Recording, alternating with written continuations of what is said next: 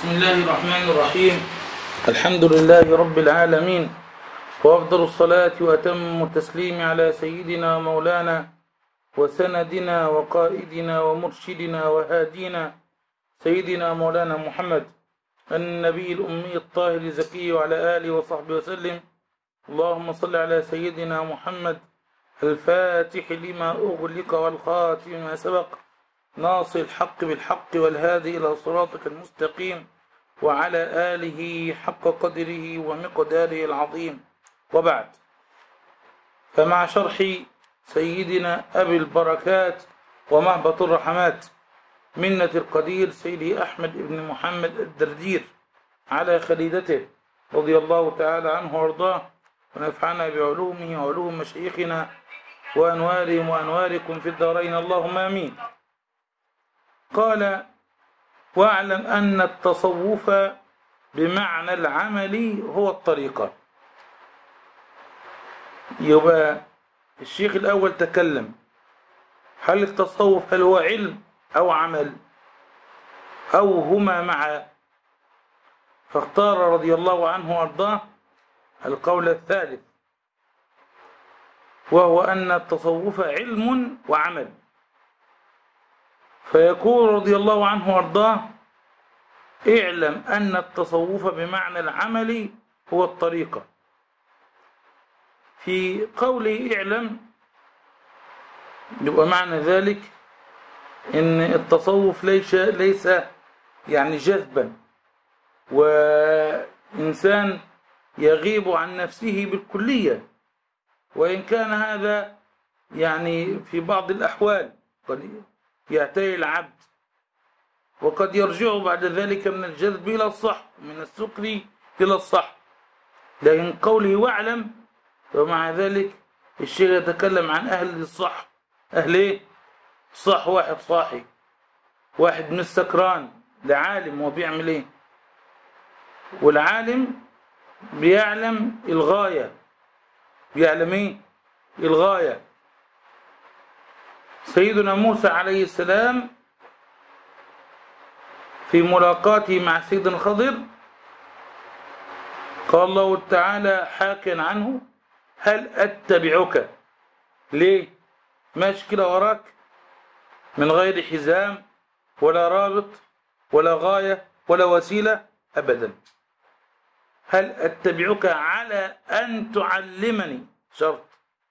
مما علمت رشدا.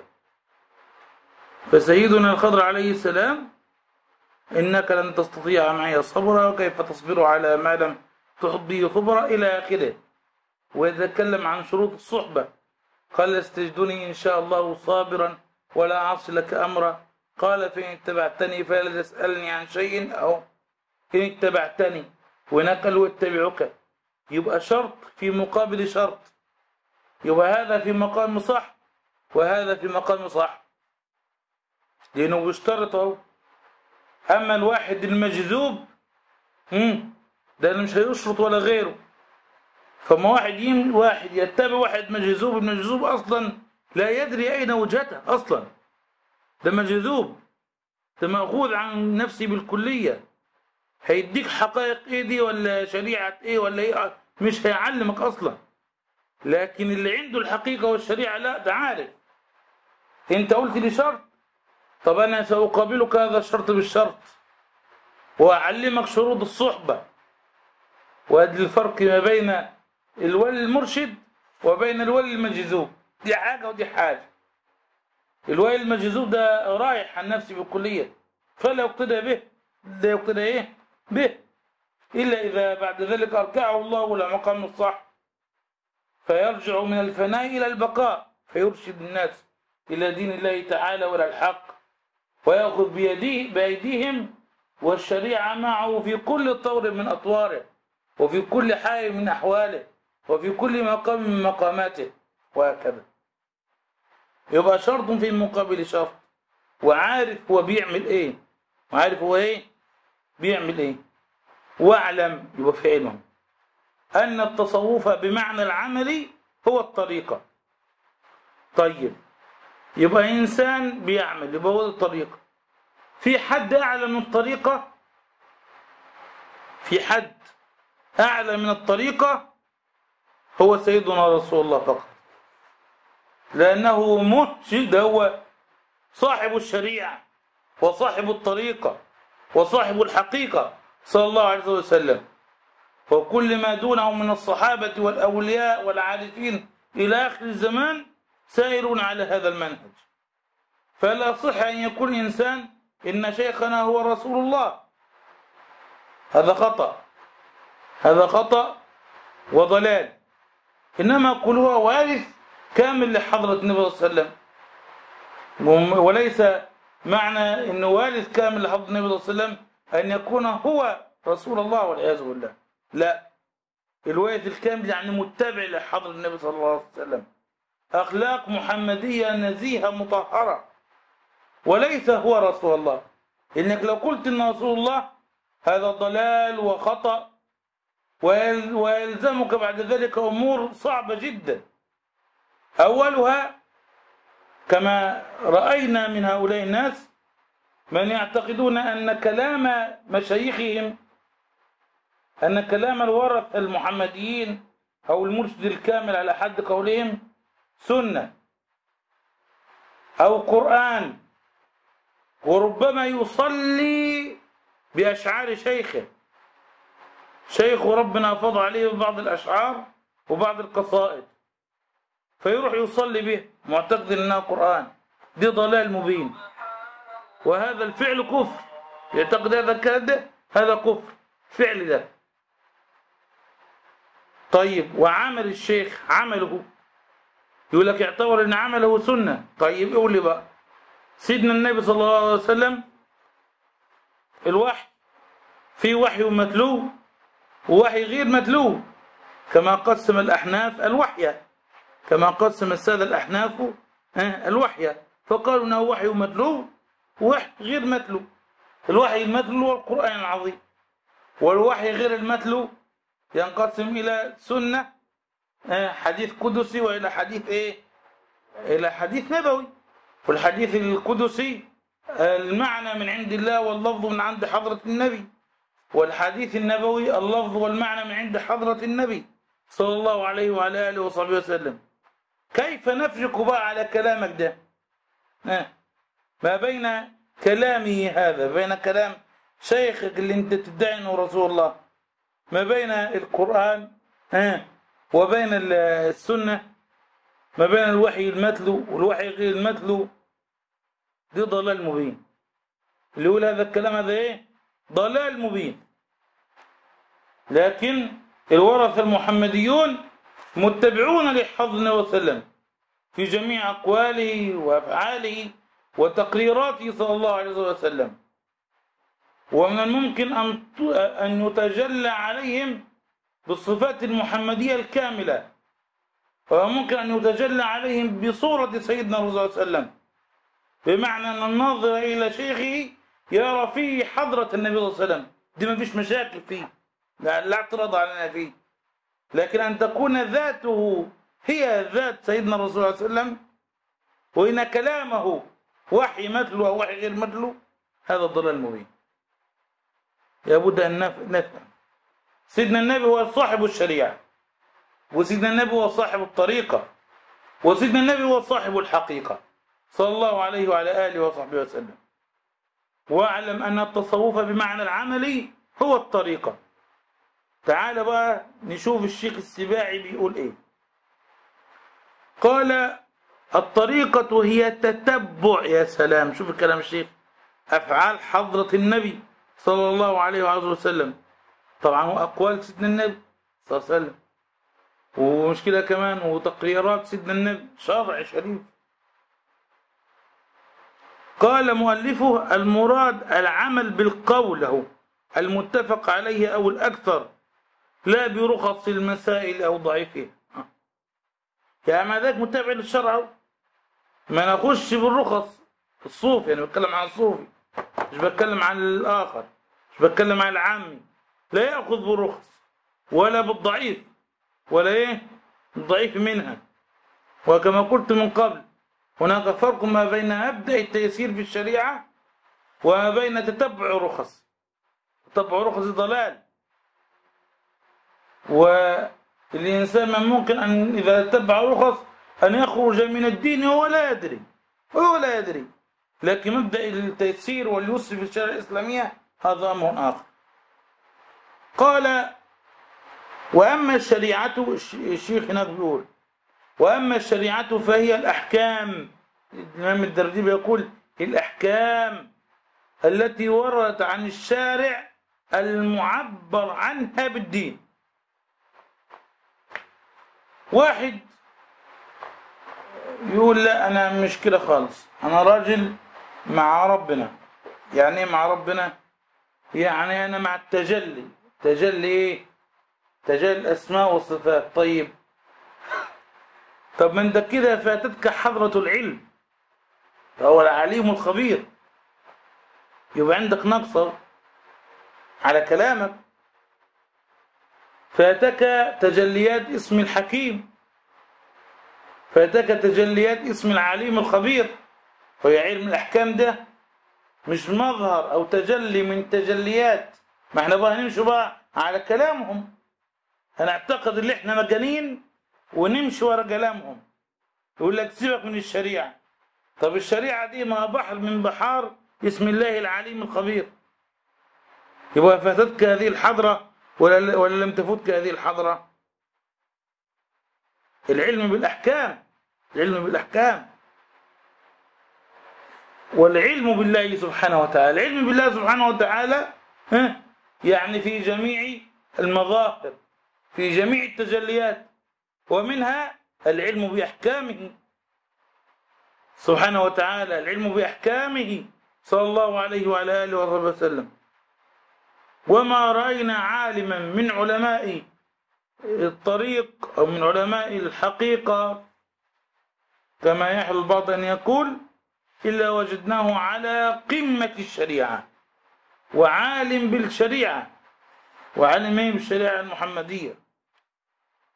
سيدنا عبد القادر كان كان مذهبه إيه؟ كان شافعية في بداية الأمر. ثم جاءه النبي صلى الله عليه وسلم في المنام وقال له قم فانشر مذهب أحمد. قم إيه؟ فانشر إيه؟ مذهب أحمد. فدخل المذهب الحنبلي ومعه أربعة آلاف من تلامذة المذهب الحنبلي قرأوا مختصر الخرقي وكان شافعيا وحنبليا معه المذهبان. وكان على علم بالمذهب الحنفي والمذهب المالكي. يعني وافتاته رضي الله عنه وأرضاه كان يفتي على الملك على الشافعي وعلى الحنبلي. وعلى الحنفي ولكنه ما كان يفتي بمذهب سيدنا مالك. لماذا؟ هل هو على لأنه جاهل به والعياذ بالله أبدا. أبدا. إنما تأدبا مع حضرة النبي صلى الله عليه وسلم. لأن الإمام مالك مسكنه المدينة المنورة. مسكنه إيه؟ المدينة المنورة. جاء تأدبا مع لا يفتي مذهبي عالم المدينة. رضي الله تعالى عنه وارضاه. كان لكنه كان يفتي على المذهب وكانت تعرض إليه الفتاوى فيتعجب علماء العراق. جاهز كده. وسيدنا الامام الرفاعي شافعي المذهب. أو شافعي المذهب. وكان يقول لتلامذته كان في القرآن المؤيد لا تقل قال الحلاب بل قل قال الشافعي وقال مالك. سيدنا أحمد البدوي رضي الله عنه وارضاه. كان شافعي المذهب. وكان عليا بالقراءات. حتى قيل قديما في مصر القرآن أحمدي والعلم أزهري.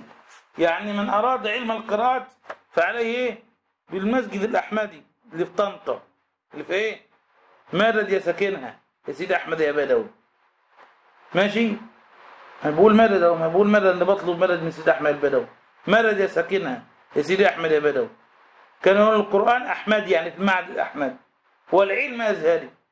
لكن علم القراءات ده في الأزهر الشريف من قريب. يعني من 200 سنة 200 حاجة سنة من ساعة من المتولي وقعدوا هنا. لكن زمان كان القران أحمدي. زمان في مصر يعني. يعني تعلم علم القراءات يعني كان عالم في القراءات وكان شافعي المذهب. سيدي إبراهيم الدسوقي كان شافعي المذهب. ولو شرح على متن أبي شجاع. أخرج الجزء الأول منه مبحث العبادات. آه، أخونا عاطف وفدي. هو دكتور محمد نصار طبعا القديمة اللي عندي. أهو كانوا متمذهبين. سيدي أبو الحسن الشاذلي مالكي سيدي أحمد الدردير مالكي الحفني مالكي البكري حنفي. أجيب مين كمان؟ كلهم على الشريعة الإسلامية. فهل الشريعة الإسلامية وتمسكهم بها وتدريسهم لها وتعمقهم فيها. حتى صاروا أكابر والإمام مالك مالك الصغير هو سيدنا الدردير. هل دي انتقصت من قدرهم في الحقيقة؟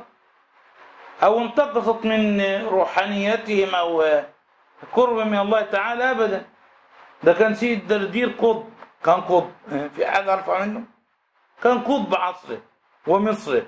رضي الله عنه وأرضاه. سيدي الدردير كان قطب. رضي الله عنه وأرضاه. سيدنا الناوي رضي الله عنه وأرضاه كما جاء في الفتوحات الوهبية كما جاء في ترجمة لابن علاء بن عطار إنه رأى أحد الناس في المنام أن الإمام النووي قطب. الإمام النووي إيه؟ قطب الليلة قطب إيه الليلة يعني صار إيه؟ صار قطبا. وسيدنا النووي قادري الطريقة. سيدنا النووي قادري الطريقة. لأنه متصل بابن قدامة وابن قدامة متصل بسيدنا عبد القادر. فهو قادري الطريقة سيدنا الإمام محي الدين النووي رضي الله عنه وارضاه قطب لكن كان المشهور عنه إنه إيه؟ يعطي لعلم الظاهر وعلم الحديث وعلم الفقه.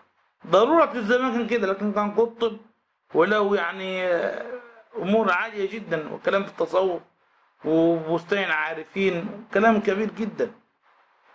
قال لك فذهب الرجل إليه في مجلسه فوجده رجل عادي بيدرس الحديث وكده يعني. فهم الرجل أن يتكلم. فقام الإمام النووي من مجلسه وذهب لهذا الرجل وقال له أكتم ما رأيت. اسكت ما تتكلمش. قال له إيه؟ أكتم إيه؟ ما رأيت. ما تتكلمش خالص. ما هو الراجل شاف المنام إنه قط بالليل. قال له اك- أكتم أكتم ما رأيت. دي الإمام النووي. رضي الله عنه وارضاه. نقول مين ولا مين؟ كل العلماء على هذا الكلام. بل زمان كانوا يقولون كمان يعني فسد الزمان. ليه فسد الزمان؟ ليه؟ قال لك صرنا نعطي خلافة النقشبندية لمن يتقن مذهبا واحدا. أه. عايز إيه؟ يقول لك لازم يكون متمازج بالمذاهب الأربعة عشان نديله الخلافة في النقشبندية. شوف إزاي الكلام. يقول لك فسد الزمان؟ ليه فسد الزمان؟ قال لك صرنا نعطي خلافة النقشبندية لمن يتقن مذهبا واحدا. طب انت عايز تتقن إيه لازم يتقن أربعة عشان يبقى- خليفة في الطريقة النقشبندية.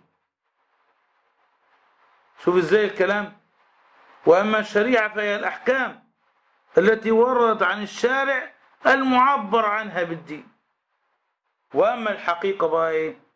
حاجة منفصلة عنها حاشا وكلا. ده هي زبدة اللبن. قال أسرار الشريعة ونتيجة الطريقة. آه. سر إحنا بنعبد ربنا في الصلاة. أسرار اللي في الصلاة. أسرار الوضوء. أسرار الزواج. أسرار كذا أسرار كذا. في كل شيء. كما قال حتى الشيخ الدردير من قبل وأشار رضي الله عنه وأرضاه قال وتحدث عند الوقاع. يعني وقاع الرجل على امرأته أسرار لا يعلمها إلا أهل الكشف. وقال الشيخ الأكبر سيدي محي الدين بن عربي وقد يفتح على الولي أثناء اجتماعه بزوجته ما لم يفتح عليه في عبادة كذا وكذا. أمور إحنا لا ندركها لكنها أسرار أسرار الشريعة. الشريعة بقى بكل ما فيها من أول باب الطهارة لحد باب الجهاد. شوف شوف إزاي حتى العلماء في ترتيبهم. قيل للإمام أبي يوسف تلميذ أبي حنيفة ألف لنا كتابا في التصوف. فراح عمل كتاب البيع. كتاب البيوع طب إيه؟ يقول لك يا عم اتكلمنا في التصوف يا عم. كتبنا كتاب البيوع؟ الويو لأن اللي عامل للناس ويعرف الحلال والحرام ما له وما عليه. في البيوع والإجارة والسلم والمساقاة والمزارعة والمخابرة. فهو أجدر بعد ذلك أن يعلم حقوق الله عليه. وقبل ذلك فيحسن المعاملة بينه وبين الله تعالى لأنه مش بيتعامل بالربا. فمطعمه حلال ومشربه حلال.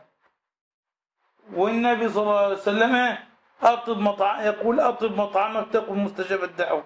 خلاص. مستجاب الدعوة يعني يا رب افتح علي يفتح علي. لكن آه، ثم ذكر رجل أشعاف أغبر يطيل السفر آه، يمد يديه إلى السماء يا رب يا رب ومطعمه حرام وملبسه حرام و- وغوذي بالحرام فأنا استجاب له. إزاي؟ مفيش قول من هنا اللي بعد بكره ولا حاجة. خالص. قال له ألف كتاب في التصوف راح عمل له من كتاب البيوع. أهو اتق الله حيثما كنت. آه ليك أنت. وأتبع السيئة الحسنة تمحوها. بينك وبين نفسك. والتقوى بينك وبين الله تعالى. اهو وخالق الناس بخلق حسن. التصوف كله خلق. فمن زاد عليك في الخلق زاد عليك في التصوف. بيوع. زي الإنسان ما يغشش. زي الإنسان يكون يعني يعامل الناس بما يرضي الله سبحانه وتعالى. بيعا وشراء. ليس الرجل الذي يعجبك طنطنته. قالوا كده. ليس الرجل الذي يعجبك طنطنته في الدعاء. ولكن رجل من تعرفه عند الأخذ والعطاء. المال. المال. وما تعامله بالمالية. مش في في الجامع عابد وجوه البيت ظالم. زمان كان أحد الأولياء الله الصالحين يقول الوالي عندنا اللي تشهد له مرأته. اللي تشهد له إيه؟ يعني اللي مر... امرأته عندنا أيها الأستاذ الفاضل المرأة يعني الزوجة يعني إيه؟ الزوجة. اللي تشهد له زوجته إنه تقي لله يبقى دي ولي لأن المرأة لا تنظر إلى إلى إلى زوجها إلا بعنصر البشرية. فلما تنظر إليه بعنصر البشرية تجده ما شاء الله إنسان كامل ومكمل ومحترم ما ده ده, ده هو دي الولي. هو دي الولي ده اللي تشهد له امرأته. عشان كده قالوا إيه؟ آه، ثلاثة يكون انتفاعهم بالولي قليل. ليه؟ قال لك الزوجة والابن والخادم. الزوجة لأنها تطلع على بشريته. بيأكل إيه ويشرب بيعاشر إلى آخره. اطلع على عنصر البشرية. وكذلك الابن. بينظر إليه إنه أبوه. بينظر إنه شيخ أولي طبعا إلا ما بيكبر وبيعرف. أقدار آبائهم.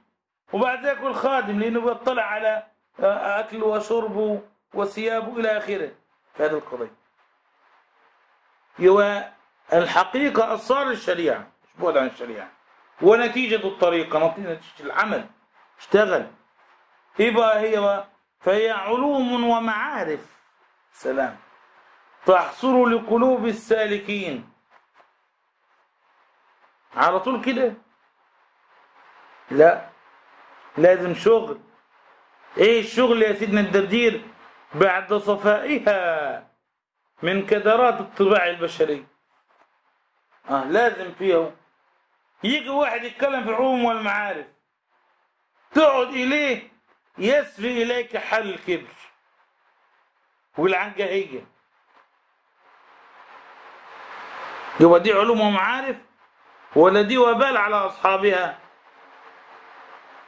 ما يقولكش اذكر ربنا. ولا حتى يعلمك الصمت اللي هي من اللي هو من صفات العارفين. لا. ده يعلمك احتقار جميع الناس أجمعين. يبقى هي دي انت كده قد صفيت من قدرات البشرية ولا لا زالت في قدرات البشرية؟ لا زالت في قدرات البشرية. يبقى اذا ما دمت لم تصفو من قدرات الطباع البشرية وصرت عندك الكبر والعجب والآنية وحب الدنيا والإقبال عليك الدنيا يعني. يبقى أنت مع ذلك إن العلوم اللي أنت عليها دي ومعارف دي ده عبارة عن تنطنة لسان فقط. ليس لها حقيقة. جبت ابن عربي وقعدت تقرأ فيه. الله كلام كلام الشيخ الأكبر أذكر البعض. طبعا العين وراس ماشي. لأن هو كلام ذائق على فكرة. ابن عربي ده ذائق. حصرت الدين كله في الشيخ الأكبر ابن عربي وسيدي عبد الكريم الجيلي وابن سبعين وابن الفارض والناس دي. طب يا سيدي على العين وراس يا سيدي. لكن هل ذقت مذاقهم؟ هل تخل... هل هل اجتهدت اجتهادهم؟ هل تخلصت من كدرات الطباع البشرية كما تخلصوا؟ طيب الأكثر أغنى من زي بقى هل عندك إجازة بأن تتكلم بهذا الكلام؟ ما عندوش إجازة. بهذا الكلام الكلام ده علوم المعارف دي لابد اللي ينشرها لابد يكون عنده إذن. جبت من الإذن قال تعالى يا أيها النبي وإنا أرسلناك شاهدا ومبشرا ونذيرا وداعيا إلى الله إيه؟ بإذنه وسراجا منيرا. فمع كونه نبيا وأرسلناك وشاهدا لازم يبد فيها إيه؟ من إذن. والحضرة المربوطة المظبوطة زي بقول لك إيه؟ بربها مربوطة مربوطة. اللي إذن ليه تأثير في القلوب. تغيرات تحدث. تغير حال من حال سيء إلى حال أحسن إلى حسن إلى أحسن وهكذا. كنا نجلس مع شيخنا رضي الله عنه وارضاه بالساعتين والثلاثة فلا نسمع منه كلمة. بل ولا يجرؤ منا أحد أن ينطق بكلمة. كما كان ساداتنا الصحابة مع حضرة النبي صلى الله عليه وسلم. يجلسون كأن على رؤوسهم الطير. وكانوا أن يتمنون أن لو أتى إنسان أعرابي مش عارف قدر حضرة النبي فيسأل حضرة النبي فيجيب حضرة النبي كما جاء في الحديث الصحيح. ولكن بمجرد الجلوس ساعتين وثلاثة يسري إليك من حال سيدنا الشيخ رضي الله عنه وأرضاه. لكن انت بتجلس ثلاث أربع ساعات. كلام في كلام في كلام في كلام في كلام. دي تصوف ده؟ هل هذا هو التصوف؟ ابدا. هذا ليس بتصوف. أنا بتكلم عن أناس يعني نما في هذا الزمان شرهم. وقد حذر منهم سيدنا الشيخ مصطفى البكري الصديقي في كتاب اسماه السيوف الحداد. سيوف إيه؟ سيوف الحداد في اعناق أهل الزندقه والإلحاد. أه. سمعهم مزندقين وخلاص الشيخ مصطفى البكري لك الجماعة دول عندنا في الشام قد نما شرهم. وراح الف الكتاب ده عشان خاطره ويلا. ما عندوش تفاهم. عالم علماء الشريعة رضي الله عنه وأرضاه. وعالم علماء الطريقة. وكبير من كبار رجال الحقيقة. فعليك بخمرتنا البكري من حانة سيدنا البكري وبوقت حضورك للذكر كن عند حضورك مفقودا. فهي علوم ومعارف ومعارف تحصل لقلوب السالكين بعد صفائها من كدرات الطباع البشرية. نرجع إلى مولانا الشيخ يقول معارف جمع معرفة. وهي على لسان علماء غير الصوفية العلم صح؟ العلم والمعرفة إيه؟ مترادفان وقيل لا المعرفة العلم يستدعي سبق الجهل. المعرفة المعرفة تستدعي سبق الجهل. والعلم لا يستدعي سبق الجهل. ذلك قيل عن الله عليم وليس عارف يعني وهكذا. يعني على خلاف بين العلماء.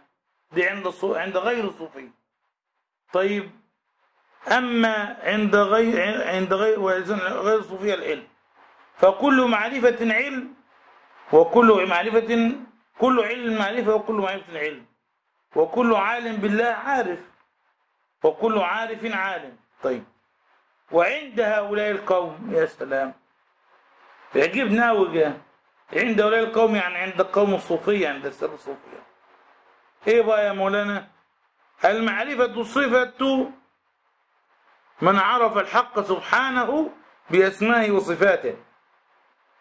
بس. ثم صدق الله في معاملته. وده يعني تعريف سيدنا شيخ الإسلام للتصوف شيخ الإسلام وما نطلقه مش ابن تيمية. شيخ الإسلام يعني شيخ الإسلام زكريا الأنصاري. قال ويجمع التصوف في الحدود دي كلها صدق اللجوء إلى الله تعالى في جميع الأقوال. كما نص على ذلك يعني في شرحه على الرسالة. قال ثم صدق الله في معاملته. ثم انتفى انتفى من أخلاقه رديئة وآفاته. ثم طال بالباب وقوفه. ودام بالقلب اعتطافه. فيحظى من الله تعالى بجميل إقباله. وصدق الله في جميع أحواله.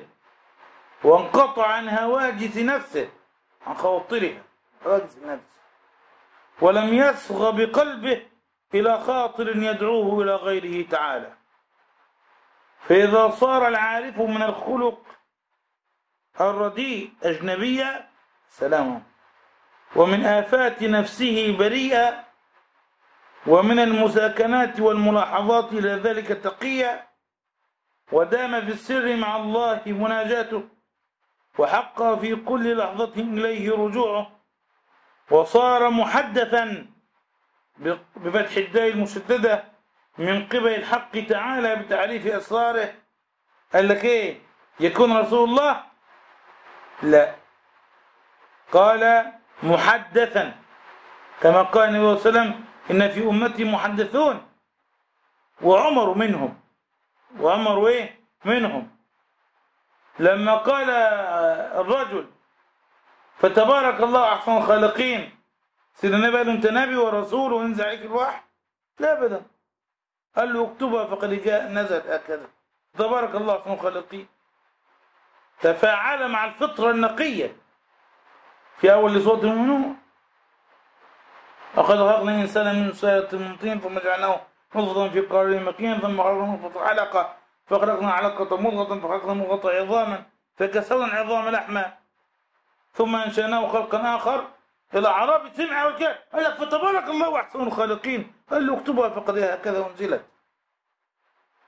تفاعلت فطرته مع القرآن الكريم فحدث قال له أنت خلاص نبي؟ ونزل عليك قرآن زي ما نزل عليه القرآن قال له اكتبها فهكذا أنزلت. القضية إن يكن في أمتي محدثون عمر. عمر منهم. اللهم بين لنا في الخمر بيانا شافيا. فهل لما نزل القرآن مرة أخرى ببيان الخمر فيه بيان شافيا فقال له ده كده خلاص عمر بقى صار نبي؟ لا أبدا ما قالش كده أبدا خالص. قال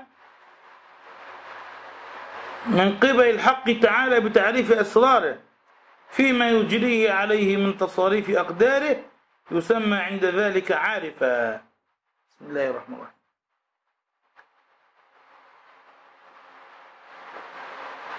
عند ذلك إيه؟ عارف. عشان كده إذا جلست مع العلماء فاحفظ لسانك. وإذا جلست مع الأولياء فاحفظ قلبك. وإذا جلست مع العارف مع العارفين يعني فكن على طبيعتك. لو أنه ينظر إلى قدر الله فيك. أنا عارف بالله. هذه معنى كده ويسمى عند ذلك عارفا. وتسمى حالته أي التي سمي بها عارفا معرفة. ويقال هي تحقيق العلم بإثبات الوحدانية. يعني في علم يقين وعين يقين وحق يقين. هذه القضية تحقيق العلم. ويقال حياة القلب مع الله. ويقال نسيان غير الله. انظر الرسالة القشيرية العين ورأس يا سيدنا الدردير ويا سيدنا الصاوي ويا سيدنا السباعي. انظرها قول الطباع البشرية قال لك هي حظوظ النفس. الشيخ الدرديري ثم يقول بعد ذلك ولا شيء أقرب لصفاء القلب. يا سلام. من كثرة ذكر لا إله إلا الله. مع الآداب التي ذكرها أهل الله رضي الله تعالى عنهم. ومتى ترك السالك الآداب أو أكثرها؟ بعد عليه الوصول إلى مطلوبه. والآداب إما قبلية وإما بعدية وإما مصاحبة.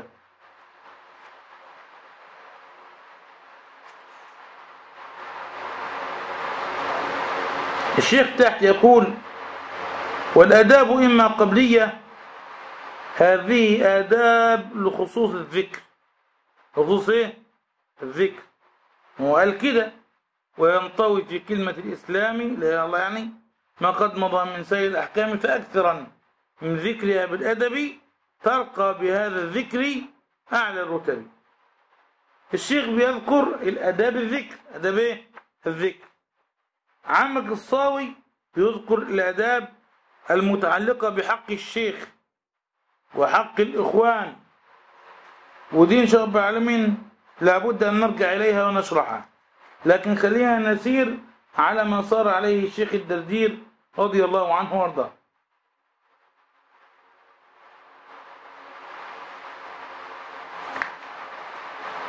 قال فالقبلية هنا الفاء فاء الفصيحة. يعني فإن أردت أن تعرفها ها؟ إذا أردت أن تعرفها فالقبلية كذا اللي هي أفصحت عن جواب شرط مقدر. وقد وقد تكون تفريعية. تفريعا على ما تقدم فالقبلية كذا قال أن يجدد التوبة. ما لكش تتوب لأن التوبة دي واجبة. من الذنوب والمعاصي. من الذنوب إيه؟ والمعاصي. وعند أهل الله من الكبائر الصغائر والمكروه وخلاف الأولى والإكثار من المباح يعني درجات ومنازل. ومن الحال الذي كنت فيه إلى حال أعلى عندما تنطلق, تنطلق إليه ومن المقام إلى المقام وهكذا. التوبة هي البناء هي الأساس الذي يبنى عليه كل طريق وكل مقام. هي الأرض التي يزرع فيها كل نبات. فلو أن إنسانا ألقى بالنبات على أسمنت أرض غير صالحة للإنبات فلا ينبت شيء. خالص نهائيا. في نبات كده تزرعه في نبات إيه؟ تزرعه. يخضر ويعمل اوراق كده ولكنه لا يثمر. ليه؟ لأن مفيش تربة صالحة للثمار. التربة الصالحة التوبة. التربة الصالحة التي تجعل منك الثمار الشيخ المأذون. الشيخ إيه؟ المأذون. لكن بتذكر ربنا سبحانه وتعالى من غير الشيخ ورق أو شجر يورق ولا يثمر. يورق إيه؟ ولا يثمر. لكن الذكر الذي يعني يورق ويثمر هو الذكر المأذون من قبل الشيخ من قبل الشيخ المربي. ولا بد من توبة صالحة. هي التربة. إيه؟ التربة. من غير تجديد للتوبة أنت يعني تبني على موج. كما قال ال- الشيخ صبوة الزبد.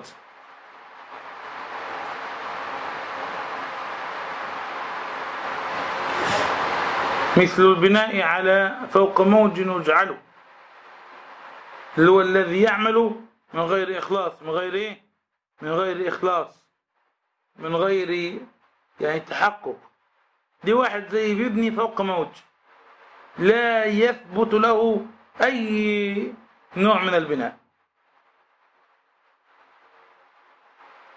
آه وتوبة ممن حراما يأكل أو وتوبة ممن حراما يأكل مثل البناء فوق موج يجعله بالضبط. فيش. التوبة لغة الرجوع من شيء إلى شيء. وشرعا الرجوع عن الذنب. طيب.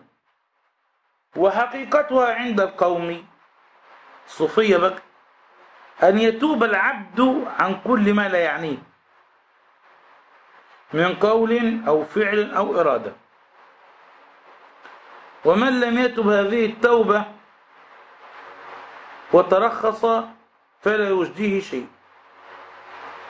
وهكذا أخذت علينا العهود من كل قول وفعل وحال وإرادة وغفلة عن الله. والجامع لكل ما لا يعنيه هو ما لا يرقيه في الطريق بشهادة شيخه. وكان ذنون المصري يقول من ادعى حلاوة الذكر مع حب- مع محبته في الدنيا فأكذبوه وهي أصل كل مفتاح أهو ومفتاح كل حال فمن لا توبة له لا مقام له وسيأتي لذلك تتمة في محله. قال فالقبلية أن يجدي التوبة لما وقع فيه من المخالفات أو الخواطر الرديئة. الخواطر جمع خاطر فهو خطاب ينشئه الحق في قلوب الخلق تارة بواسطة مخلوق وتارة بواسطة مخلوق من ملك أو شيطان أو نفس. فإذا كان من قبل الله سبحانه وتعالى بلا واسطة فهو خاطر حق. وإذا كان من الملك فهو الإلهام. وهو إلقاء معنى في القلب بطريق الفيض. وإذا كان من قبل النفس قيل له هاجس. فما كان من قبل الملك إزاي نعرف بقى الحاجات دي بقى. يعلم صدقه بموافقة العلم الشرعي. ها حلو. جاءك الآن خاطر وأنت تقرأ في القرآن الكريم. معنى جديد في الآية. جاءك في قلبك.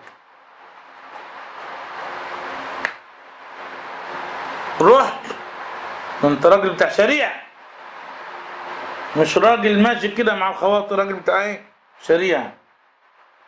قلت سيدي أبو الحسن بيقول لابد له من شاهدي من كتاب الله وسنة النبي صلى الله عليه وسلم. رحت الآية دي وافقت آية أخرى في القرآن. الفهم ده وافق آية أخرى من القرآن. وافق حديث نبوي شريف أو حديث قدسي شريف. آه. المعنى ده لم يقر على الأصل بالبطلان. لم يقر عليه على الأصل بالبطلان. إيه الأصل؟ العقيدة. لو لو كرت على الأصل بالبطلان يبقى المعنى ده غير معتبر. ده ممكن يكون خاطر نفسي أو شيطاني. ابعد. يبقى مش خاطر ملكي. الخاطر الملكي آه، أن يكون موافقا للعلم الشريف. في فهم آية من القرآن أو مثلا في اطلاع على أمر معين آه، أو في إنسان دلوقتي يقول لك إيه؟ اذهب إلى مكان كذا روح زور سيدنا الحسين دلوقتي. رحت دلوقتي الله زيارة البيت آه ضامن محبب وذلك الذي يبشر الله عباده. الذين آمنوا وعملوا الصالحات كل يسألكم على اجر إلا مدة في القربة رحت لقيت في ظل كورونا ربنا أنعم عليك وفتحوا المقام الشريف. الله هذه دعوة طيبة من ملك صالح. وافقت العلم الشريف وزادتني حبا في أهل البيت المطهرين. وانعمت بالوصل بيننا وبين سيدنا الحسين الذي قطعه من لا يخشون الله. وهكذا. شوف إزاي؟ المهم نعمل إيه؟ نزور سيدنا الحسين. خاطر مالك يوم قال فإذا كان من قبل الله تعالى فإذا كان فما كان من قبل الملك يعلم صدقه بموافقة العلم الشرعي. ولهذا قالوا كل خاطر لا يشهد له ظاهر من الشرع فهو باطل. طيب وما كان من قبل الشيطان فأكثره يدعو إلى المعاصي وأقل يدعو إلى الخير في الظاهر. خلي بالك. ممكن خاطر ما يأتيك من قبل الشيطان. وهو في الظاهر إنه خير لكن يدعوك إلى شر. إزاي؟ وجدت بنت كده مش محجبة. مثلا وجلسة لوحديها كده واقفة مثلا. عايزة حاجة يا أختي؟ انت مالك ومالها؟ لو هي عايزة حاجة جات إليك لو سمحت أعطني. لو سمحت انتهي عن الطريق. لكن لو رحت هناك قالت لك لا مش عايزة حاجة. أقل حاجة عملتها خرجت من الشيء الحلال إلى الشيء الحرام. نظرت نظرة والنظرة سهم مسموم من سهام إبليس. يبقى الخاطر ده هذا في الظاهر إنه هو كويس لكن ده وراه إيه؟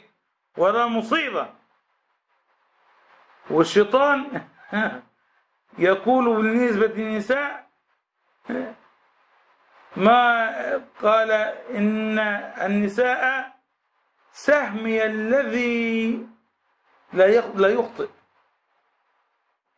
يعني الشيطان كده عنده أسهم كده بيرمي على ابن آدم. المرأة دي سهم اللي عمره ما يخطئ أبدا. سهم الذي لا يخطئ. عشان كده في النبي صلى الله عليه وسلم إيه في المقابل اتقوا الله. مم. ما تركت فتنة شد على أمتي من فتنة النساء. وهكذا. قال وهو من باب صدقك وهو كذوب. صح.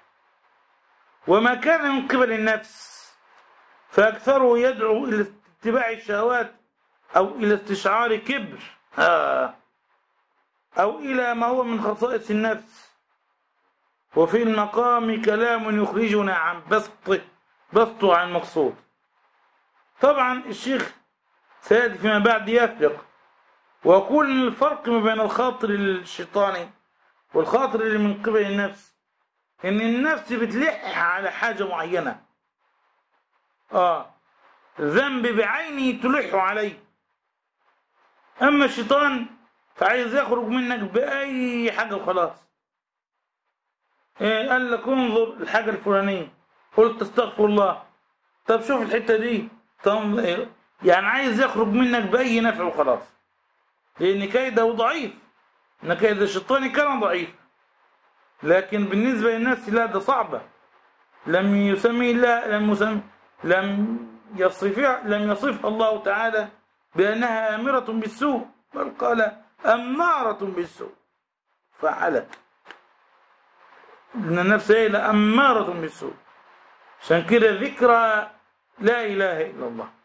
يعني الذكر الذي يطهر النفس من من نفس الأمارة بالسوء دي وإيه لا إله إلا الله.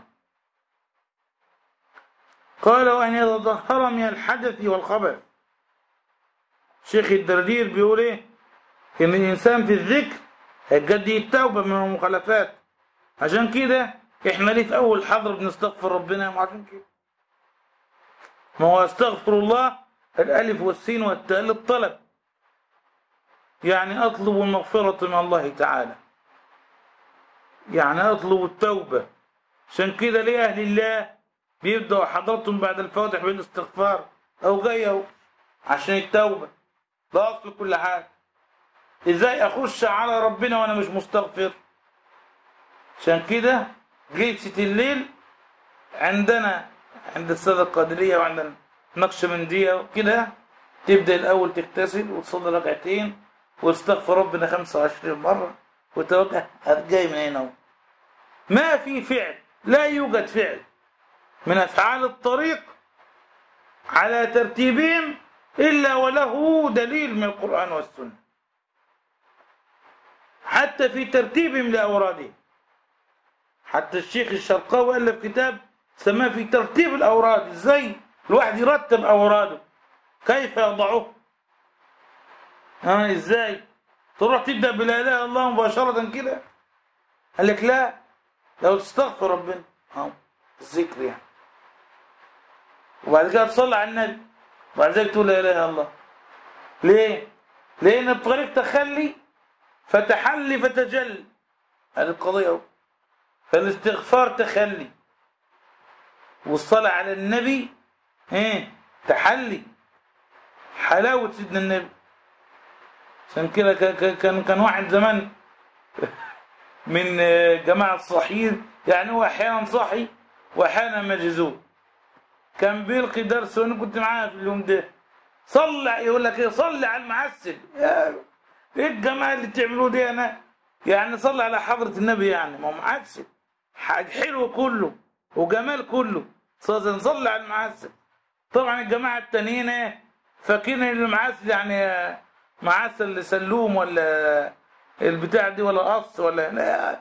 يعني المعسل يعني كله عسل. صلى الله عليه وسلم كله حلاوة. كله جمال صلى على المعسل طيب يعني صلى الله عليه وسلم. طيب يا سيدي على العين والراس ماشي. فعشان كده قال لك إيه؟ أو استغفار تحلي. وسيدنا النبي صلى الله عليه وسلم إيه؟ تحلي. وبعد ذلك إيه؟ تذكر لا إله إلا الله إيه؟ تجلي. يأتيك إيه؟ تجلي بلا إله إلا الله. ما فيش حاجة من أهل الله بينصوا عليها إلا ولها دليل. ولا إيه؟ إلا ولها يعني مذاق إلا ولها ترتيب خاص أهل النفوس البشرية يعرفونه. وهكذا. قال أن يطهر من الحدث والخبث.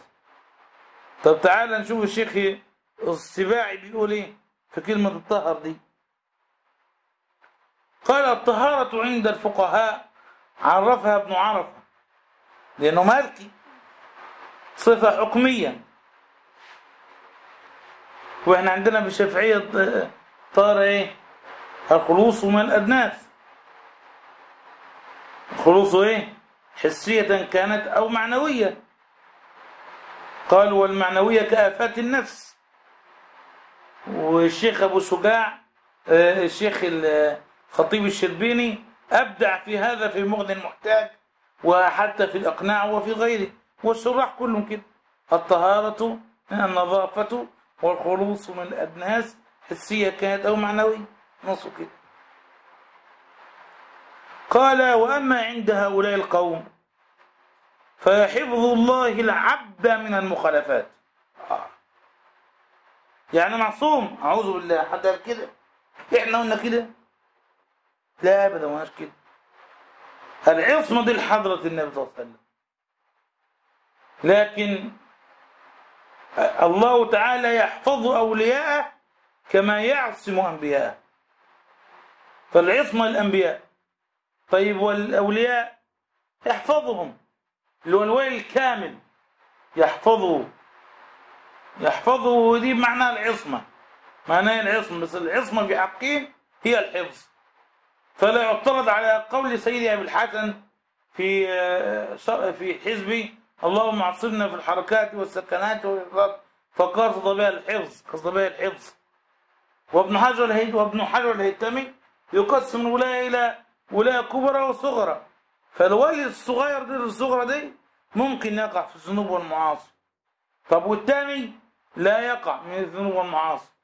مع آه، احتمالها جوازها مع جوازها عقلا مع جوازها عقلا بخلاف الأنبياء. عدم جوازها عقلا اللي هي المعاصي والذنوب الصغائر والكبائر.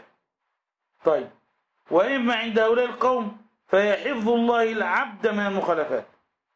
وكان زمان سيدنا الشيخ علي رضي الله عنه يقول أن كان لي شيخ يقول أني لا أتذكر أنني منذ أربعين سنة قد أذنبت ذنبا. يقول لا أتذكر إيه؟ أنني منذ أربعين سنة قد أذنبت ذنبا. طيب ما فيش مشكلة خير إن شاء رب العالمين. طيب وممكن برضه يقول أنا منذ خمسين سنة لما كده. ليه؟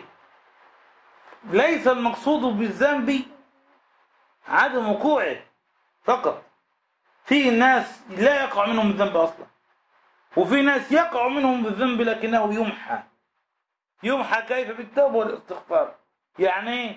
يعني عدم كتابة ملك السيئات عليه ذنب. لأن ربنا سبحانه وتعالى من رحمته بنا أن جعل ملك الحسنات رقيبا على ملك إيه؟ وسيدا على ملك السيئات فإذا عم عم العبد سيئة فيروح يكتبها يكتبها مين؟ ملك السيئات يقول له اصبر لعله أن يستغفر لعله إيه؟ فعشان كده ما يكتبش عليه فإحنا مش بنقول إن الأولياء معصومين أبدا إنما يتوبون الله تعالى. إذا أذنب يتوب إذا أذنب يتوب لكن الثاني لا. الثاني يطلق لنفسه العنان في الذنوب والمعاصي. فبيكتب عليه هذه القضية هذه القضية. فاللهم إنا نتوب إليك يا رب في كل طرفة عين. مما علمنا وما لم نعلم يا رب العالمين. قال وإما عند هؤلاء القوم فهي حفظ الله العبد من المخالفات. ثم اعلم أن عندهم طاهر الظاهر وطاهر الباطن. الله. وطاهر السر وطاهر السر والعلانية. فالأول اللي هو طاهر الظاهر من حفظه الله من المعاصي. طب وطاهر الباطن من حفظه الله من الوسواس. طب وطاهر السر من لا يظهر عن الله طرفة عين. مع الله. طب وطاهر السر والعلانية من قام بتوفية حقوق الخلق والخالق جميعا لسعته برعاية الجانبين. الله. لأن طاهر السر من مجذوب طاهر السر. لكن الأعلى منه طاهر السر والعلانية. اللي هو الولي المرشد الكامل. دي ماله دي له توجهان. توجه ناحية الحق سبحانه وتعالى باللجوء إليه وصدق اللجوء إليه سبحانه وتعالى وأمر آخر بجانب الخلق اللي هو الإرشاد إلى دين الله تعالى. فهو طائر في هذا وطائر في هذا. قال ويوفي هذا الحق يوفي هذا الحق. لأجل ذلك كان يستغفر النبي. صلى الله عليه وصحبه وسلم. آه. استغفر الله فإني أستغفر الله. آه. قال إنه ليغان على قلبي. يغان إيه؟ على قلبي. وإني لا أستغفر الله في اليوم مئة مرة. فقالوا إن الغين ده أمر مش كويس. فكيف يقول النبي صلى الله عليه وسلم إنه ليغان على قلبي. فجاءه النبي صلى الله عليه وسلم وقالوا الغين غين أنوار. لا غير أغيار لا غين أغيار. يا مبارك. قال كلا سيد أبو الحسن. سيد أبو الحسن الشاذلي رضي الله عنه وأرضاه. الغين غين إيه غين أنوار. لأن هو متوجه دائما في غين أغوان إيه؟ يعني غين أنوار الحق سبحانه وتعالى. فيخاف صلى الله عليه وسلم من التقصير في جانب الخلق. في جانب إيه؟ الخلق والإرشاد والرسالة والتبليغ إلى آخره. فكان استغفاره صلى الله عليه وسلم من هذا. من هذا إيه؟ من أن تغلب أنوار الحق عليه. فيقصر في جانب الخلق. فيقصر في جانب إيه؟ في جانب الخلق. هو له توجه ناحية الخلق. لأجل ذلك يستغفر الله سيدنا محمد صلى الله عليه وسلم. قال الغين غين أنوار لا غين أغيار يا مبارك. قال وأن يتوجه إلى الله تعالى برغبة. يعني الشيخ الدردير بيقول كده يتوجه الله تعالى برغبة ليحصل له الجمعية في الذكر. يا سلام يا سلام. يا أستاذ تعال بقى نشوف حكاية الجمعية دي. قال الجمعية يعني مش معناه إنه قاعد عند ربنا لأن ربنا ليس له مكان. كده يا أستاذ؟ إحنا الآن مجموعين في مكانه. ربنا مش كده. ربنا ليس له مكان. ماشي يا أستاذ؟ المكان ده ده صفة من صفات الحوادث. والله سبحانه وتعالى لا يحل في شيء. ولا يحل فيه شيء. لا يقول بالاتحاد إلا من إلى أهل الإلحاد ولا يقول بالحلول إلا من دينه معلول. ده المشكلة دي. إحنا لا اتحاد ولا حلول. طب يعني إيه الجمعية؟ ما الحق يعني دوام مراقبة الله تعالى. دوام الوصال. هو دي الجمعية مع الحق. فإن أخذته عن نفسه بالكلية فهو غريق الحضرة. طيب وإن كان يرجع ويروح أو يرجع ويروح أو من كان مع الله سبحانه وتعالى ومع الحق في آن واحد اللي هو من أهل الإرشاد العارف بالله كما قال من قبل والاسم بمعناه هو دي في جمعية مع الحق سبحانه وتعالى. أي المراقبة بقى. وهي استدامة علم العبد. استدامة إيه؟ خلي بالك من لفظ الشيخ استدامة استدامة العلم يعني معنى ذلك إنه إيه؟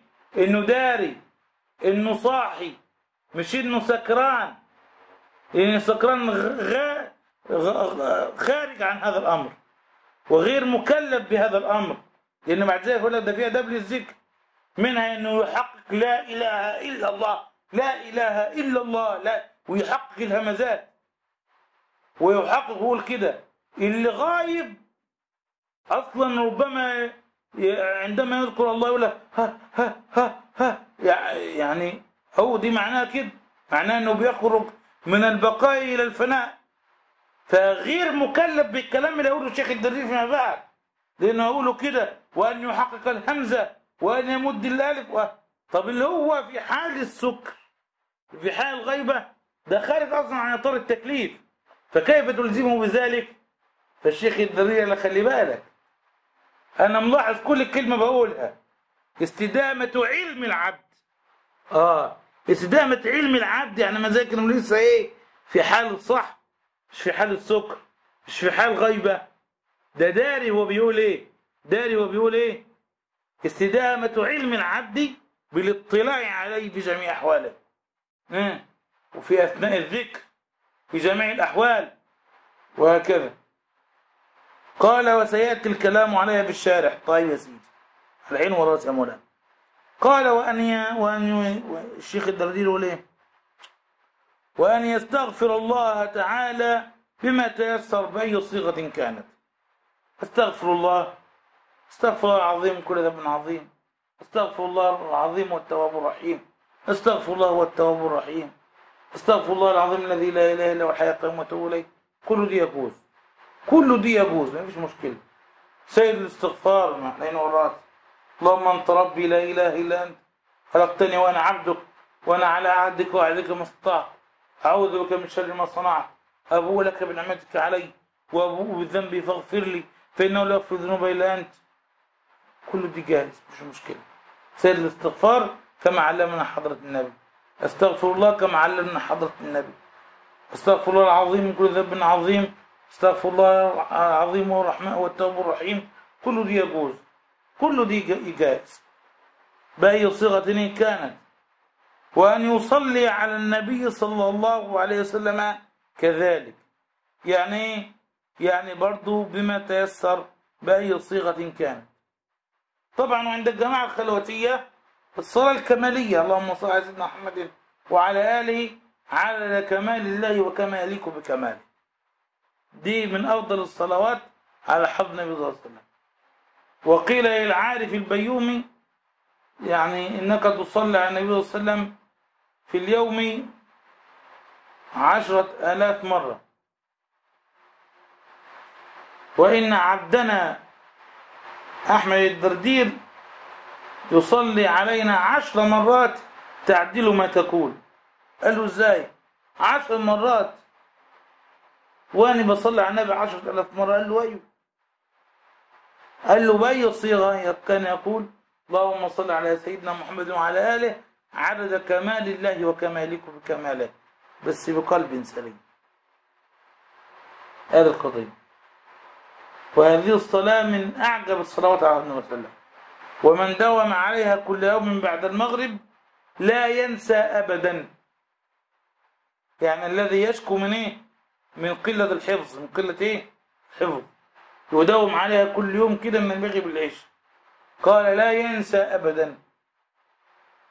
كما كان يفعل سيدي علي الشبرملسي اللي هو صاحب الحاشية على التحفة تحفة المحتاج الفقه الشافعي. سيدي الرشيدي والشبرملسي سيدي الشبرملسي بقى ده كان يقول كده إنه ما كانش ينسى حاجة ابدا. ليه مش بتنسى يا أستاذ؟ ما كانش فيه أيامكم لا فيسبوك ولا تويتر ولا كلام فاضي. كان فيه إيه؟ كان فيه صلاة على النبي. هي دي. وكان سيدنا الشيخ علي جمعة رضي الله عنه وارضاه يختم مجلسه بالصلاة على النبي صلى الله عليه وسلم. ويقول إن مشايخنا علمونا إن الصلاة على النبي صلى الله عليه وسلم في آخر المجلس في آخر إيه؟ المجلس اللي يبين اللي ينسى حاجة اللي ناسي حاجة أو مستوعب مثلا 50% من الدرس 60% من الدرس لو صلى على النبي في آخره رب سبحانه وتعالى يجمع له العلم كله اللي كان في المجلس. عشان كده دايما نصلي على حضر النبي. فأول المجلس وآخر حضرة المجلس. هو يصلي على النبي صلى الله عليه وسلم كذلك. إن الله وملائكته يصلون على النبي. يا أيها الذين آمنوا صلوا عليه وسلموا تسليما. في أكثر من كده. أنت شريك الحق. شريك الحق في إيه؟ في الصلاة على النبي صلى الله عليه وسلم. شوف إزاي. يعني يقول لك أنت شريك فلان ده أنت ده حتى في شركة بتسمى في الفقه شركة الوجوه. وهي عند الأحناف. شركة الوجوه يعني يكون اثنين مشتركين واحد برأس المال وواحد بينه ذو وجهة في المجتمع. بينه إيه؟ ذو وجهة إيه؟ في المجتمع. ومعروف مثلا إن زين مشارك أخونا الجميل اللي هو ذو وجهة في المجتمع. كل الناس تتاجر معاه وكده. ليه؟ لأنه هو بيتاجر مع مين؟ الاسم المعين اللي محطوط ده. اسم واحد معين اسم جميل. ده الكتاب اللي هو الكتاب. لو كتب عليه قرضه كذا ولا قدمه كذا ده بيتباع بالسعر الفلاني. بيتعلم منه. ده بيخلي كل الطلبة بتشتريه. ده وجوه اهو ده إيه؟ شيء من الوجوه. عشان كده لو طلب مثلا مولانا اللي مقدم الكتاب مالا من المؤلف. مفيش مشكلة. ليه مفيش مشكلة؟ لأن اسمه ما كتب عليه أخذ أخذت هذه السلعة رواج في السوق. أخذت الرواج إيه؟ رواج في السوق. شركة الوجود دي في فقه الأحناف. إن واحد إيه؟ برأس المال والتاني بناه ذو وجاه في المجتمع طيب شوف بقى موضوع لك. أنت شريك للباري. إزاي؟ في الصلاة على النبي صلى الله عليه وسلم يا سلام. تجارة لن تبور يا أستاذ. تجارة إيه؟ لن تبور. لن تبور أبدا أبدا. صلى على حضرة النبي. أنت بتصلي على النبي. ومعك ربنا والملائكة. أبقى في جمعية أكتر من كده؟ هذه الجمعية يا عم اللي بقول عليها الشيخ الدردين جمعية مع الحق في الصلاة على سيد الخلق. صلى الله عليه وسلم. استغفر ربنا. وصلى على حضرة النبي. قال وأن يصلي على النبي صلى الله عليه وسلم كذلك. يعني قال وأن يستقبل القبلة. وأن يستقبل إيه؟ القبلة. لأنها أفضل الجهاد. هنقف عند هذا الحد؟ لأن القبلة دي كلمة لا بحسب التقاسيم. هناك القبلة في الدعاء هي السماء. مش كده؟ وهناك قبلة في الصلاة المسجد الحرام. وهي قبلة الذكر. لما تكون لوحدك كده وقاعد وحاول تستقبل إيه؟ تستقبل القبلة كده وتذكر ربنا كده. طب ولو كنت في حلقة؟ مفيش مشكلة. لا مانع. حلقة من حلقات الذكر من حلقات الذكر. طيب. يبقى دي قبلة إيه قبلة الصلاة المسجد الحرام وقبلة الدعاء السماء. طب وقبلة الحب. تدخل من باب الحب سيدنا الإمام الحسين عليه السلام. أحب الله من أحب حسين آه. أحب الله إيه؟ من أحب حسين. حسين سبط من الأسباط كلمة أحب الله من أحب حسين. هل دي دعاء من حضرة النبي صلى الله عليه وسلم؟ فتكون الجملة دعائية. يعني كأن النبي صلى الله عليه وسلم يدعو بمحبة الله تعالى لمن أحب سبطه الإمام الحسين. رضي الله عنه وأرضاه. احتمال. احتمال قائم والجملة تكون دعائية وعلى عين والرأس ودي يكفي. لأن دعاء النبي مقبول. دعاء النبي إيه؟ يبقى نتوجه لحضرة سيدنا الحسين. لأن دعاء سيدنا النبي مقبول يعني بالمحبة. سيدنا الحسين دي رمز لأهل البيت المطهرين. رضي الله عنهم وارضاهم. الصحابة المكرمين. لأن هو البيت اللي كانوا صحابة وزادوا بالفضل. مش معناها تشيع والعياذ بالله لا. ده هم صحابة وزادوا بالفضل إنهم أهل البيت. يبقى الجملة أحب الله من أحب حسين إما أن نحملها أنها جملة دعائية. ودعاء النبي صلى الله عليه وسلم مقبول. يبقى إذا لابد أن نتوجه للإمام الحسين. محبة. وإما أن تكون الجملة خبرية. إن النبي صلى الله عليه وسلم يخبر عن محبة الله تعالى لمن أحب سيدنا الحسين. فكأن المحبة سابقة. محبة ربنا لك أصلا سابقة. في أنه دلك على سيدنا الإمام الحسين. مش أنت كده قد تدخل أول مرة سيدنا الحسين تحس إن دخلت المكان ده قبل كده نعم في ناس كده. دول أهل العناية يا أستاذ. دول أهل إيه؟ أهل العناية. إنه ساعة ما يدخل عند مقام سيدنا الحسين عليه السلام ورضي الله عنه وأرضاه يشعر بأنه قد دخل هذا المكان من قبل. صحيح. هذا المكان قد دخله في الأزل عند التعرف في عالم الذر. تعرف في عالم إيه؟ ودي من معارف برضه والذوقيات وإذ أخذ ربك من بني آدم من ظهورهم ذريتهم وأشهدهم على أنفسهم ألست بربكم؟ قالوا بلى. ففي عالم الذر وكل التقى به. والشيخ الأكبر سيدي محي الدين بن عربي رضي الله عنه وأرضاه يقول إن لا يزال الإنسان يرتقي في معرفة روحه حتى يعلم هو اللي عن يمينه وعن يساره في عالم الذر. في عالم إيه؟ يشوف مين اللي كان عن يمينه ومين اللي عن يساره مش انت أحيانا كده ترى في رؤيا انك مثلا عيل صغير؟ ممكن ممكن ترى في الرؤيا اللي انت عيل صغير. أو تشعر بنفسك وانت رضيع على حجر أمك. آه ده دي كويس في الترقي. دي يدل على ان الروح بدأت ترجع إلى أصلها. تبدأ ترجع back آه تبدأ ترجع بعد ذلك back ورا. دي كويس ده ترقي. شوف انت طفل صغير آه. ده أنت بدات تنضف. بدات إيه؟ تنضف. تنضف من القاذورات دي. اللي أنت جبتها بعد البلوغ. تبدأ ترجع. آه. كويس. الروح ترجع إلى جوهريتها إلى أصلها. وادي معنى أحب الله من أحب حسين. يعني هذا أمر مكتوب عند الله تعالى. كتب وخلاص. إن أحب الله من أحب حسينا والذي يذهب إلى هناك إنما يستجيب لنداء المحبة اللي في الأزل. اللي إيه؟ في الأزل. في عالم الذر. في عالم إيه؟ في عالم الذر. تستجيب أنت لنداء المحبة. وفعلا أمر أمر غريب. لما تدخل إلى سيدنا الحسين عليه السلام وتشعر ببكاء شديد وترجع ب ب ب يعني بنظافة كبيرة جدا جدا جدا. تشعر أنها قد أتت إلى هذا المكان من قبل وأنك تبكي إليه مش بكاء واحد مذنب أو مقصر أو عاصي بل تبكي بكاء محب.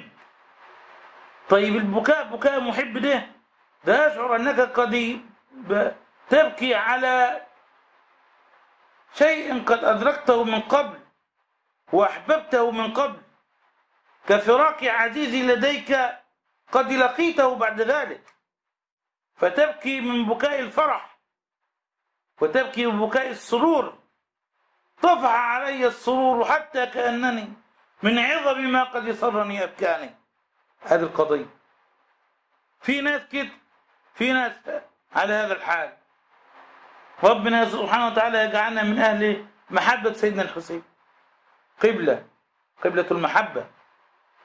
طيب قبلة المحبة دي تدعوك لأن تقعد عنده ليل ونهار وما تعملش بعمله لا شوف سيدنا الحسين كان بيعمل إيه ويعمل. سيدنا الحسين كان عالم سيدنا الحسين كان مجاهد. سيدنا الإمام الحسين عليه السلام كان آمرا بالمعروف كان نهاء عن منكر. هذه محبة سيدنا الحسين عليه السلام. كان يتعلم على يد سيدنا علي أبيه. كان مفتيا. ورث من أبيه الكثير والكثير هذا القضية سيدنا الحسين عليه السلام. وقبلة الجود. يبقى إحنا كده قلنا قبلة إيه؟ آه الدعاء. وقبلة الصلاة. وهي قبلة الذكر عند التوجه إلا إذا كنت في حلقة. وقبلة المحبة قبلة الجود. قبلة إيه؟ الجود. هي سيدتنا السيدة زينب رضي الله عنها وأرضاها. قبلة إيه؟ قبلة الجود. المصريون يطلقون عليها أم هاشم. أم هاشم ليهم بنقول عليها أم هاشم؟ نسبة إلى جدها الأعلى هاشم بن عبد المطلب. الذي سمي بهاشم لأنه أول من هشم الثريد بمكة. هشم الثريد بمكة يعني الفتة وكان يطعم الطعام. والسيدة زينب كانت كده رضي الله عنها وأرضاها وما زالت. ربنا يغمرنا ببركاتها ونفحاتها إلى يوم الدين ولا يحرمنا من أعتابك أم هاشم. وهكذا دي قبلة دي قبلة الجود. الفرق بين الكريم والجواد الكريم الذي هو الذي يعطي بعد السؤال. أما الجواد فهو الذي يعطي قبل السؤال. هو ده. قبلة الجود. طيب. يبقى بقى قبلة الوصال. قبلة إيه؟ هو سيدنا رسول الله. لو استفتحوا علي كل باب واستطرقوا علي كل طريق ما فتحت لهم حتى يأتوا من خلفك يا حبيبي يا محمد. قبلة الوصل سيدنا النبي صلى الله عليه وسلم. وقبلتك إلى الوصل بحضرة النبي وشيخك. وأهل السلسلة رضي الله عنهم وأرضاهم. ما فيش حد يصل إلا من خلال شريعة سيدنا النبي. وسنة سيدنا النبي. وأحوال الشريفة والمقامات التي نص عليها أو التي أذاقها النبي صلى الله عليه وسلم لساداتنا الصحابة والأولياء عبر العصور والدهور سيدنا عبد القادر لما وضع المدرسة سيدنا الرفاعي لما وضع المدرسة له. التصوف أصلا كان حال عند الصحابة. حال وليس بمقال. عمل لا علم. لكن كان في بعض الأمور يعرضونها على حفظ النبي صلى الله عليه وسلم والنبي صلى الله عليه وسلم يجيب عنها. ووجود النبي صلى الله عليه وسلم بينهم دي أكبر تزكية صلى الله عليه وعلى آله وصحبه وسلم. لما جاء بعد ذلك الصحابة وبعد ذلك إيه، اشتهروا الذين أعرضوا عن الدنيا بالزهاد أو بالقراء أو ب يعني أناس لهم مع الله حال فتفرقوا شعبا كثير. حتى الذي يقرأ كتاب كشف المحجوب الهجيري يجد إن الطوائف الصوفية دي كتير جدا كتير جدا. ليه يا أستاذ وكلام من كده؟ اختلفت أذواقهم ومعارفهم وأحوالهم مع الله سبحانه وتعالى. فكل إنسان يعبر بالحال الذي وصل إليه. بل الحال الذي يغلبه. فبعضهم يغلب عليه حال التوكل فيكون غريق التوكل من أول أمره إلى آخره. وواحد غالب عليه الزهد وواحد غالب عليه التوبة وواحد غالب عليه كذا كذا كذا. كان منهم يعني آه، البكاؤون. واحد اسمه بكاء كده بكاء. تجلس إلياس يعليك حال البكاء كده. زي جماعة رباح بن عمرو. رباح بن عمرو ده كان بكاء يقعد معاه يبكي. يقعد معاه يبكي. يبكي طول عمره على ذنوبه. طب يا عم هنفضل نبكي كده لحد إمتى؟ فين الاحوال الباقيه هو غريق غريق الحال ده خلاص. يعني مأسور لهذا الحال على عينه. وأقطاب وأنجاب. وأبدال وحاجة كبيرة. فجاء جه الجنيد رضي الله عنه وارضاه. ووضع الكلام ده. سيدنا الجنيد البغدادي رضي الله عنه وأرضاه. وضع أس- الأسس. جه بعد كده سيدنا عبد القادر أسس القواعد وبنى وشيد ووضع علاج النفس الأمارة بالسوء واللوامة والملهمة والمطمئنة والراضية والمرضية والكاملة ووضع وتكلم رضي الله عنه وأرضاه. وأفصح عن علوم القوم.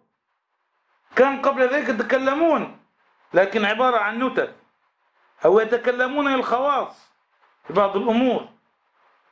حتى أن ابن سريج ابن سريج الفقيه الشافعي الكبير اللي هو مجدد المئة الثالثة وابن سريج مع باختلاف بينه وبين الأشعري يعني. وابن سريج ثالث الأئمة والأشعري عده من أما كما قال السيوطي في تحفة المهتدين في أسماء المجددين. ابن سريج دي لما جلس إلى الجنيد. قالوا له ماذا فهمت؟ قال لم أفهم من كلامي شيئا. غير أن لكلامي صولة. شوف الكلام. غير أن لكلامي إيه؟ صولة. مش صولة مبطل ده. ده صولة إنسان ذائق وشارب. إنسان يتكلم بالحقائق والمعارف لكن يتكلم بها لأصحابها. ومين اللي بيجلس معاه؟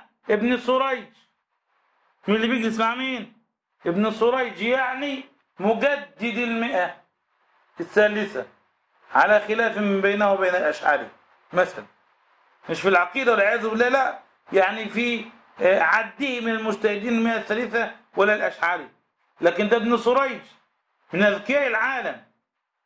مش يتكلم بكلام القوم مع عيال. مشكلة كبيرة. ولا يتكلم مع ناس. أمور أمور دنيوية فقط. ما يفهموش حتى مش حافظين جزء عامة. ويكلمونهم في في المعارف والأذواق اللي هو مش ضايقها ولا التانيين ضايقين- ضايقينها. مشكلة كبيرة. مصايب. انظر إلى مجالس الأئمة وانظر إلى مجالسك. دي الإمام الجنيد سيد الطائفة إجماع المسلمين. كل محط إجماع عند الكل. ومشكلة كمان ده الجنيدي له تلميذه الشبلي. الشبلي كان يعقد يتكلم بهذا الكلام فالجنيد نهاه. هذه القضية عشان كده قالوا إن إيه؟ إن طريق الجنيد أسلم. من طريق الشبلي اللي هو تلميذه قال نحن كل- تكلمنا في هذا العلم في السراديب ثم جاء الشبلي فنشره على المنابر. ثم قال له لا تفشي سر الله بين المحجوبين. مين اللي بيقول لي مين؟ الجنيد. بيقول لتلميذه الشبلي. لا تفشي إيه؟ سر الله بين المحجوبين. الحلاج لما جاء الجنيد قال له ما جاء بك؟ قال له جئت لصحبة الشيخ. فالجنيد ها وماله؟ قال له لا حاجة لي بصحبة المجانين. دي كلام موجود في كشف المحجوب الأكويري وفي غيره من كتب التراجم. ويرجع إليها لمن شاء. قال لا حاجة لي بصحبة إيه؟ بصحبة المجانين. ثم تكلم الحلاج في الصح والسكر فقطعه الجنيد. الجنيد إيه؟ مش مش هيغروا الكلمتين دول. لا ده ده صاحب ده, ده مقام عظيم. ده سيد الطائفة. فوق أنت بتتكلم مع مين؟ مع إمام الطائفة. مع سيد الطائفة سيدنا الجنيد. قال له لقد أخطأت في الصح والسكر في فهمك في الصح والسكر. ثم قال له إنني أرى أنه لا طائل من كلامك. أنه لا إيه؟ لا طائل. كلامك ده مش وراه طائل.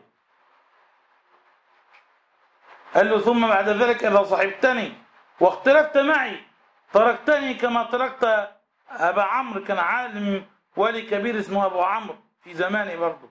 كان مسلك كده زي الإمام الجنيد رضي الله عنه وأرضاه. فانظر إلى كلام الأكابر.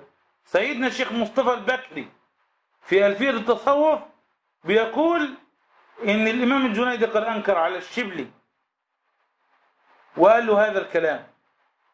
والشبلي كان يقول إنني والحلاج؟ واحد. أنا والحلاج إيه؟ واحد. غير أن الحلاج تكلم وأنا كتمت. الحمد لله إنه كتم. طيب إحنا عندنا كده بنحط من قدر الشبلي أبدا. طب بنحط من قدر سيدي محدي بن عربي مين اللي قال كده. ده الشبلي في سلسلة سلسلة الطريق بتاعي يعني. وسيدي محي بن عربي في السلسلة بتاعتي يعني. لكن إثنان يكونان الحاكمين حاكمين على معظم مجال السلسلة. إذا اختلفت عبارات الشيخ ابن عربي مع سيدنا عبد القادر مين المقدم سيدنا عبد القادر قطعا. اختلف الشبلي مع الجنيد. الجنيد قطعا دي من غير كلام. بس هذه القضية قضية ما فيها إن في أحوال ضبطت ضبطها الجنيد. إن في مدارس ضبطها سيدنا عبد القادر. وسيدنا رفاعي كان معاصرا معه على هذا المشرب. وضبط. وتكلم في حالة الحقيقة مع الله وفي البرهان المؤيد وقال كده صراحة لا تقل قال الحلاج بل كل قال الشافعي قال مالك. سيدي مصطفى البكري ينص رضي الله عنه في السيوف الحداد أن لابد للشيخ من أن يعلم أولاده الشرع. حتى إذا جاءتهم بعد ذلك الحقيقة زادتهم نورا على نور وإلا فهم على حافة السلام. لسه قاعدين إيه؟ لسه في السلامة في إيه؟ في بحر السلامة. إيه هو بحر السلامة؟ الشرع. بحر السلامة هو بحر الشرع. وحدث اختلاف في بعض الناس عندنا في الطريق وكده. فرأيت أحد خلفاء سيدنا الشيخ المعيني رضي الله عنه وأرضاه. كان فقيه حمص وعالمها وورعها وتقيها. سيدنا الشيخ وحيد بحلاق رضي الله عنه وأرضاه. رأيت سيدنا الشيخ المعين شيخي رضي الله عنه وأرضاه. ومعه مولانا الشيخ وحيد ومعه الشيخ سبيع قبلت على يد سيدنا فقال له دي الشيخ مصطفى يا وحيد. سيدنا المعيني بيعرفني بيعرف ان الشيخ له دي قال له دي الشيخ مصطفى يا وحيد. ثم قال لي طريق الشيخ وحيد هو طريق السلامة. طريق إيه؟ سلامة يعني طريق الشرح نعم طول عمره في الشرح هو طريق السلامة. طب هل كان ذائقا؟ أيوه نعم. كان ورعا نعم. كان تقيا؟ نعم. ربنا سبحانه وتعالى يبلغنا. كان عنده اجتهاد وطريق نعم. قال لي قال لي طريق الشيخ وحيد هو طريق السلامة. وإحنا سائلين على هذا المنهج. فالقضية وما فيها اللي إحنا يجب علينا أن نعلم. وإن الصوفي زي ما بيقولوا تعال من التصوف. المنهج الصوفي ابن وقته. الصوفي إيه؟ ابن وقته. أنت فاكر نفسك عايش في عصر الشبلي؟ ولا في عصر سيدي محي الدين بن عربي؟ إحنا في عصر ظهر فيه الإلحاد. في عصر صعب جدا. الناس مش فاهمة دينها إلا ما رحم الله تعالى. تروح مطيضة عقولها مش كده؟ ما هكذا تورد ويسعد الإبل مش كده؟ تأخذ بيده من الله سبحانه وتعالى. وإذا كان أحدث الكلام فتنة يبقى يجب عليه أن يحجم عن الكلام. إحنا بنقرأ حاجات السباع على الخليلة السباع على مين؟ على الخليلة أحد أبناء الشيخ السباعي ده وأظن هذا الشارح أتى إليه فترة من الزمان أمر بالصمت. أمر إيه؟ أسكت. لا تتكلم بس إحنا عايزين نعلم الناس الصمت. اصمتوا وانظروا إلى أقدار الله تعالى. اسكتوا. ما تتكلموش. ذوقك دي ومعارفك دي على فرض تسليمها وعلى فرض صحتك خليها لنفسك. لكن تفتن بها الناس وأنت غير مجاز. من شيخيك الأول والثاني دي ضلال مبين تغيير مجاز. هات لنا إجازتك. مفيش إجازة وأن ده الكلام ده ضلال مبين. وهننفذ عليك كما نفذ الجنيد. أي حد يخترق اختراق يخترق الشرع الشريف الشرع الشريف ما فيش مرحمين. بس هذه القضية وما فيها. قبلة الوصول نختمها بحضرة النبي. قبلة الوصول حضرة النبي. ما فيش حد يغير سيدنا النبي. صلى الله عليه وسلم. الشيخ الذي لا يدلك على رسول الله ولا على أخلاقه ولا يحقق فيك أخلاق حضرة النبي صلى الله عليه وسلم فهذا ليس هذا بالشيخ الشيخ الذي يجمعك على الدنيا مش شيخ